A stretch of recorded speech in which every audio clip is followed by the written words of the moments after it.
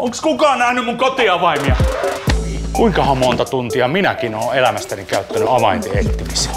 En edes muista montako avainta olen tähänkin huusolliin teettänyt. Vaimolle, Saralle, Alvarille, Siivoojalle, Ukille, Anupille.